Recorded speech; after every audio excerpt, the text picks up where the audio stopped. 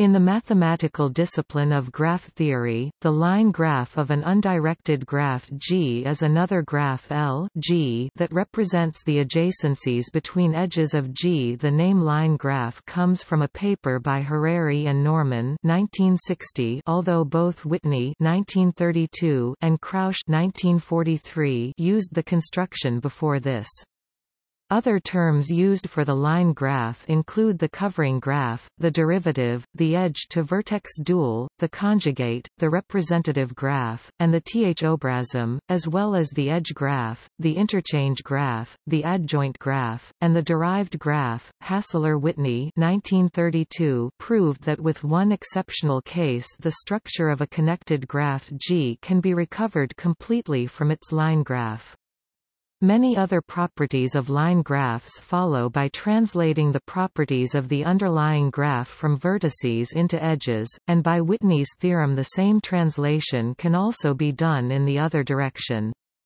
Line graphs are claw-free, and the line graphs of bipartite graphs are perfect. Line graphs are characterized by nine forbidden subgraphs and can be recognized in linear time. Various extensions of the concept of a line graph have been studied, including line graphs of line graphs, line graphs of multigraphs, line graphs of hypergraphs, and line graphs of weighted graphs.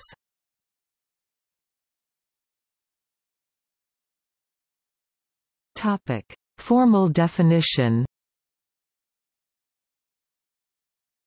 Given a graph G, its line graph L G is a graph such that each vertex of L G represents an edge of G, and two vertices of L G are adjacent if and only if their corresponding edges share a common endpoint, are incident. In G that is, it is the intersection graph of the edges of G, representing each edge by the set of its two endpoints.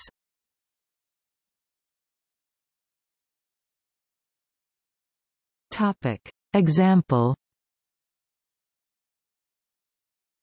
The following figures show a graph left, with blue vertices and its line graph right, with green vertices. Each vertex of the line graph is shown labeled with the pair of endpoints of the corresponding edge in the original graph. For instance, the green vertex on the right labeled 1, 3 corresponds to the edge on the left between the blue vertices 1 and 3. Green vertex 1, 3 is adjacent to three other green vertices, 1, 4 and 1, 2 corresponding to edges sharing the endpoint 1 in the blue graph and 4, 3 corresponding to an edge sharing the endpoint 3 in the blue graph.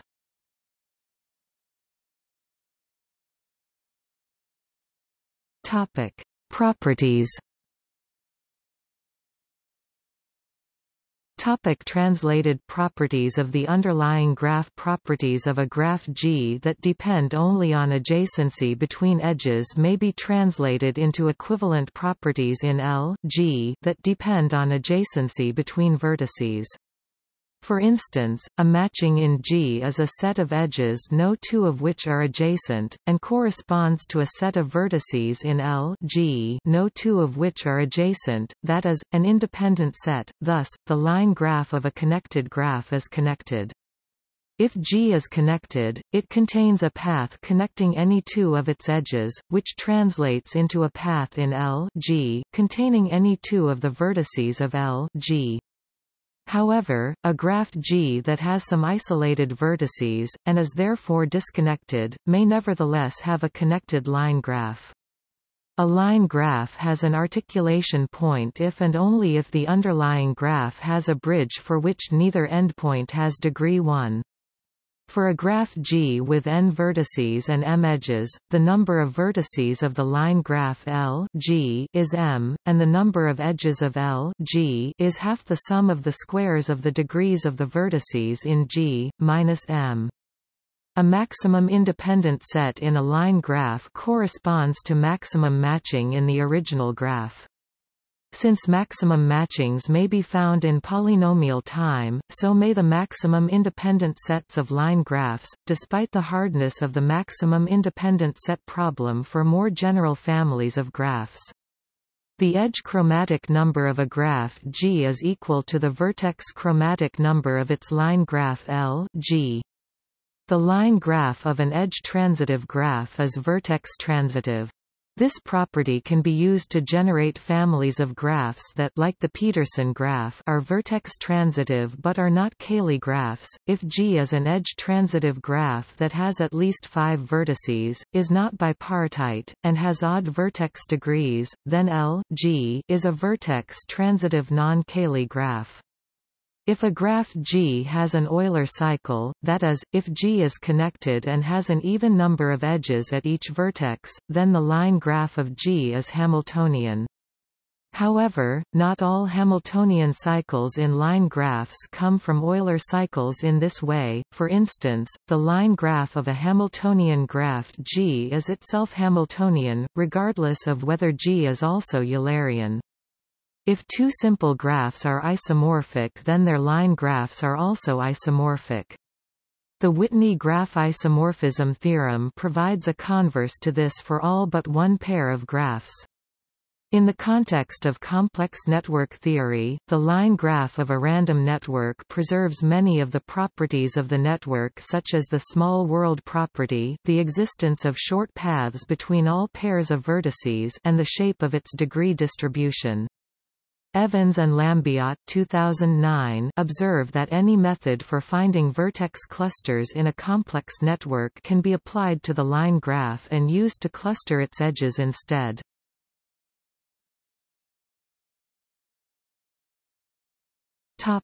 Whitney isomorphism theorem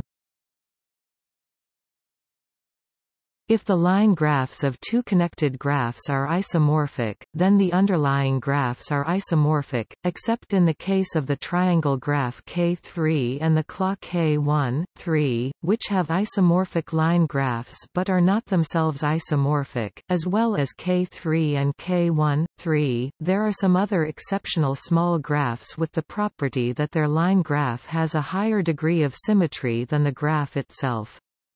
For instance, the diamond graph K1, 1, 2, two triangles sharing an edge has four graph automorphisms but its line graph K1, 2, 2 has eight. In the illustration of the diamond graph shown, rotating the graph by 90 degrees is not a symmetry of the graph, but is a symmetry of its line graph. However, all such exceptional cases have at most four vertices.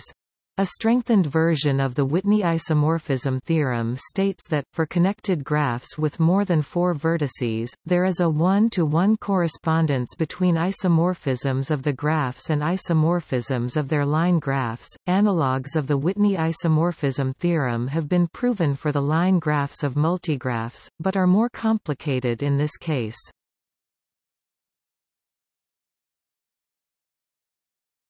Topic strongly regular and perfect line graphs.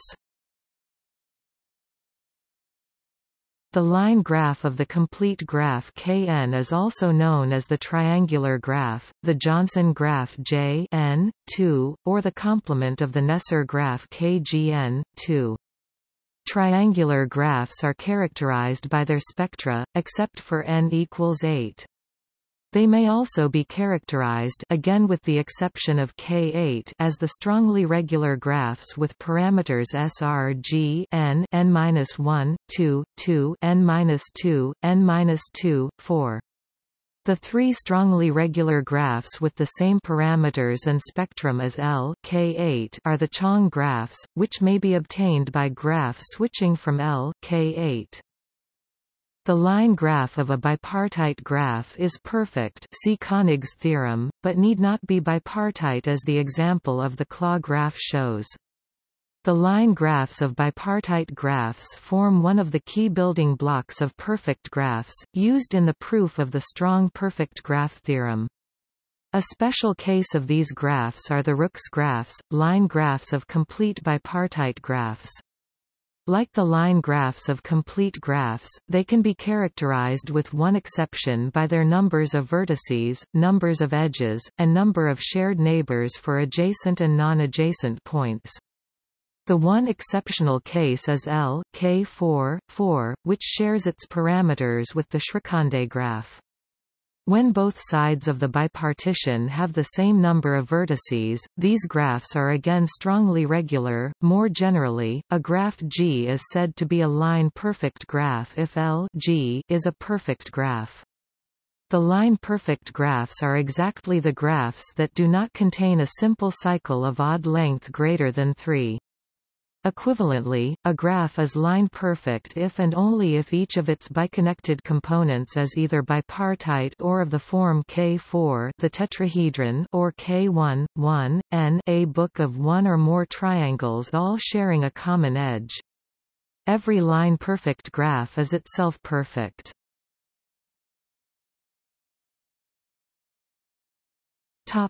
Other related graph families All line graphs are claw-free graphs, graphs without an induced subgraph in the form of a three-leaf tree.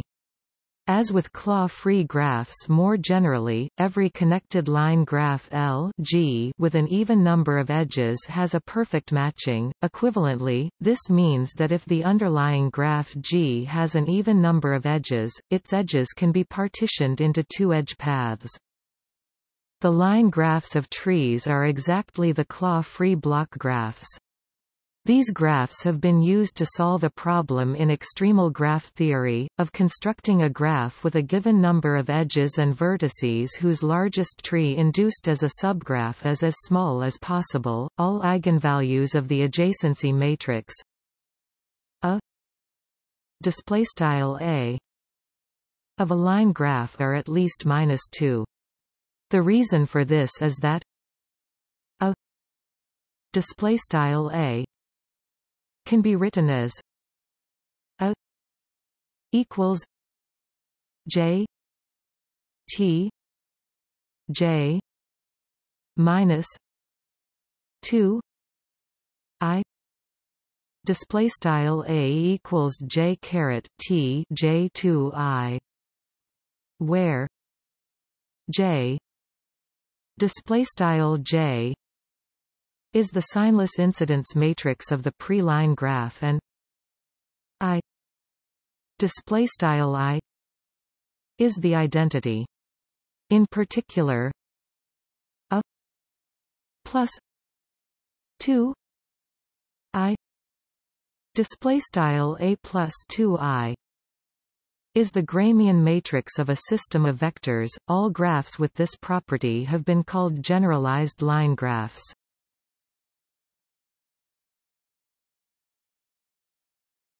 Topic: Characterization and recognition.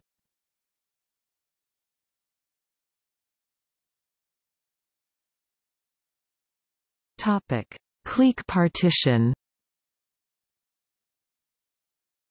For an arbitrary graph G, and an arbitrary vertex V in G, the set of edges incident to V corresponds to a clique in the line graph L G. The cliques formed in this way partition the edges of L G. Each vertex of L G belongs to exactly two of them the two cliques corresponding to the two endpoints of the corresponding edge in G. The existence of such a partition into cliques can be used to characterize the line graphs.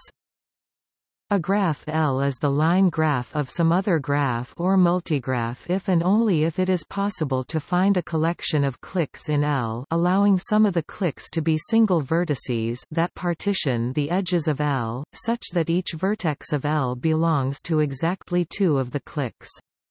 It is the line graph of a graph rather than a multigraph if this set of cliques satisfies the additional condition that no two vertices of L are both in the same two cliques.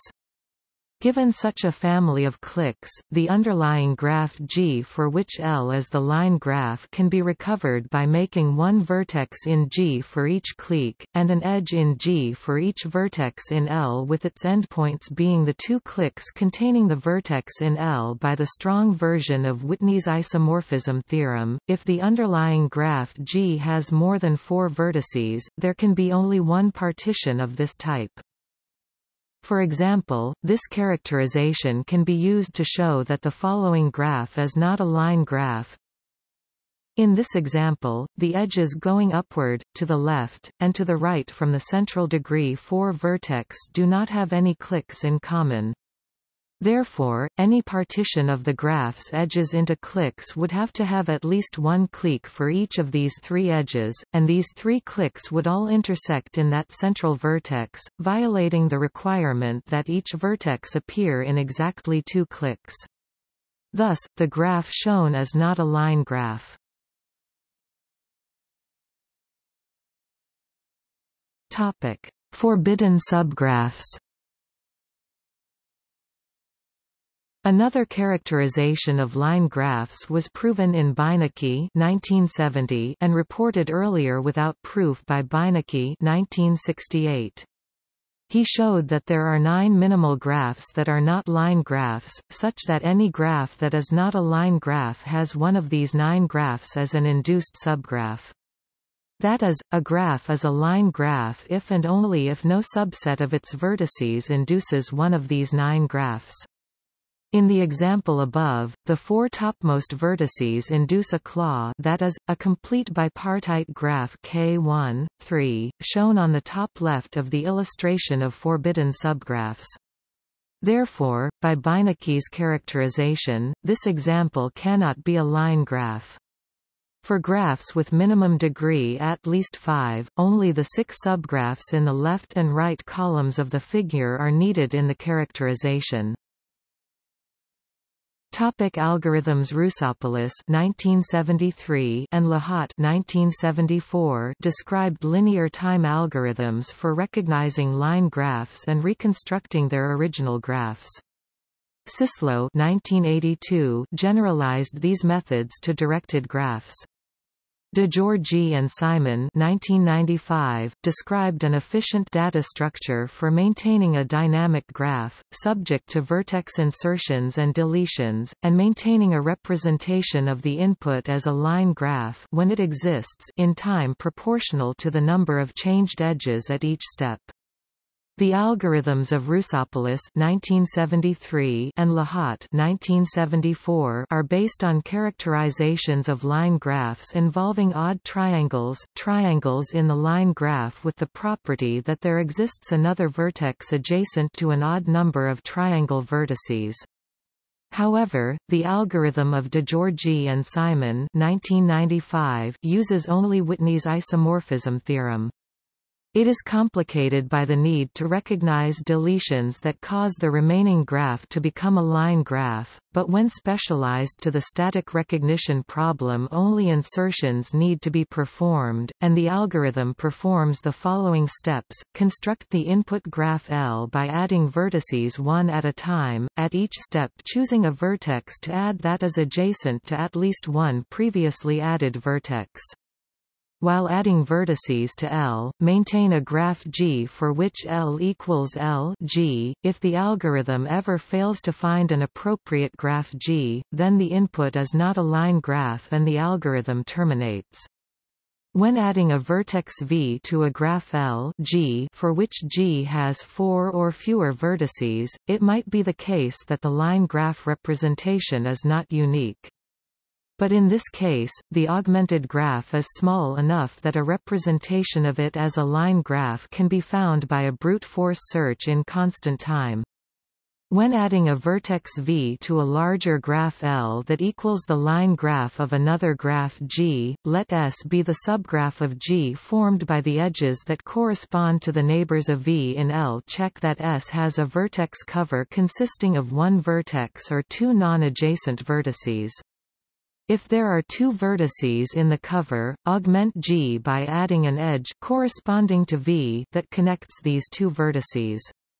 If there is only one vertex in the cover, then add a new vertex to G, adjacent to this vertex. Each step either takes constant time, or involves finding a vertex cover of constant size within a graph S whose size is proportional to the number of neighbors of V. Thus, the total time for the whole algorithm is proportional to the sum of the numbers of neighbors of all vertices, which by the handshaking lemma is proportional to the number of input edges. Topic iterating the line graph operator Van Rooij and Wilf 1965 Consider the sequence of graphs G, L, G, L, L, G, L, L, L, G, display style G, L, G, L, L, G, L, L, L, G, dots. They show that, when G is a finite connected graph, only four behaviors are possible for this sequence. If G is a cycle graph then L, G and each subsequent graph in this sequence are isomorphic to G itself. These are the only connected graphs for which L G is isomorphic to G if G is a claw K1, 3, then L G and all subsequent graphs in the sequence are triangles. If G is a path graph then each subsequent graph in the sequence is a shorter path until eventually the sequence terminates with an empty graph. In all remaining cases, the sizes of the graphs in this sequence eventually increase without bound. If G is not connected, this classification applies separately to each component of G for connected graphs that are not paths. All sufficiently high numbers of iteration of the line graph operation produce graphs that are Hamiltonian.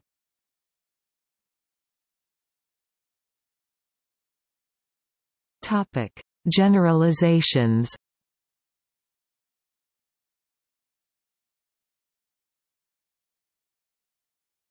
Topic: Medial graphs and convex polyhedra.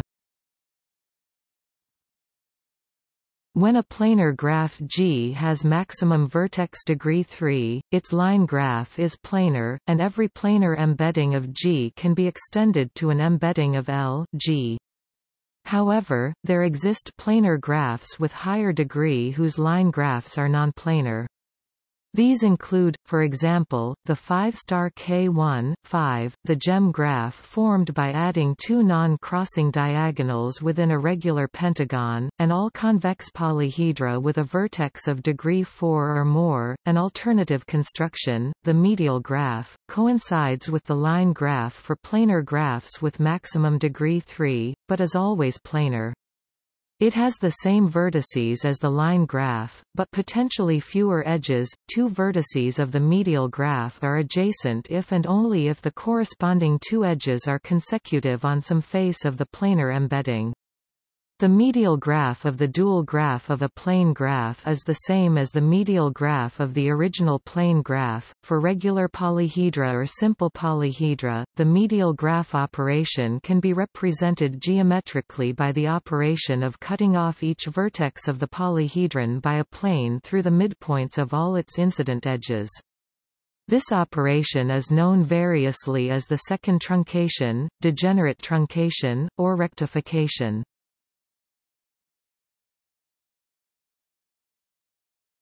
Topic: Total graphs. The total graph T G of a graph G has as its vertices the elements vertices or edges of G, and has an edge between two elements whenever they are either incident or adjacent. The total graph may also be obtained by subdividing each edge of G and then taking the square of the subdivided graph.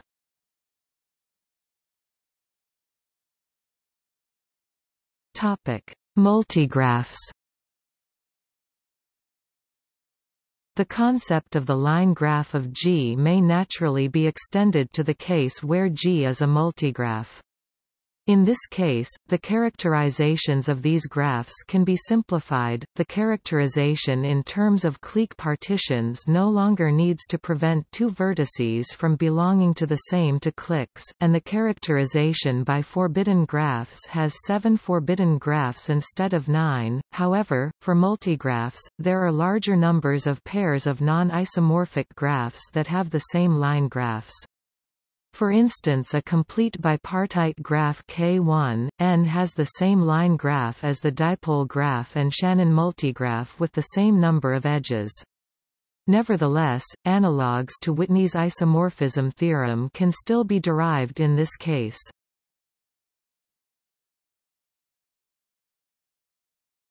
Topic: Line digraphs. It is also possible to generalize line graphs to directed graphs. If G is a directed graph, its directed line graph or line digraph has one vertex for each edge of G. Two vertices representing directed edges from U to V and from W to X in G are connected by an edge from UV to WX in the line digraph when V equals W. That is, each edge in the line digraph of G represents a length 2 directed path in G. The de Bruijn graphs may be formed by repeating this process of forming directed line graphs, starting from a complete directed graph. equals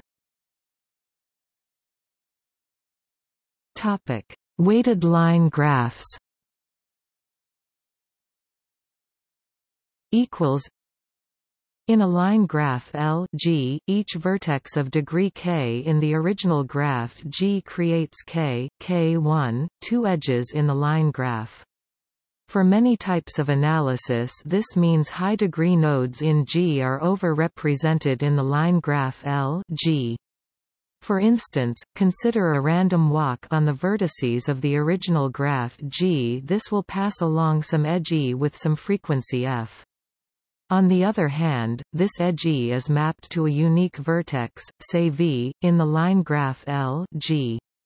If we now perform the same type of random walk on the vertices of the line graph, the frequency with which V is visited can be completely different from F. If our edge E in G was connected to nodes of degree O k, it will be traversed O k2 more frequently in the line graph L G. Put another way, the Whitney graph isomorphism theorem guarantees that the line graph almost always encodes the topology of the original graph G faithfully but it does not guarantee that dynamics on these two graphs have a simple relationship.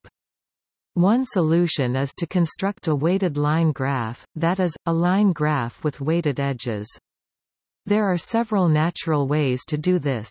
For instance if edges D and E in the graph G are incident at a vertex V with degree k, then in the line graph L G the edge connecting the two vertices D and E can be given weight 1, k1. In this way every edge in G provided neither end is connected to a vertex of degree 1 will have strength 2 in the line graph L G corresponding to the two ends that the edge has in G. It is straightforward to extend this definition of a weighted line graph to cases where the original graph G was directed or even weighted. The principle in all cases is to ensure the line graph L G reflects the dynamics as well as the topology of the original graph G. equals Topic: Line graphs of hypergraphs. Equals the edges of a hypergraph may form an arbitrary family of sets, so the line graph of a hypergraph is the same as the intersection graph of the sets from the family. Notes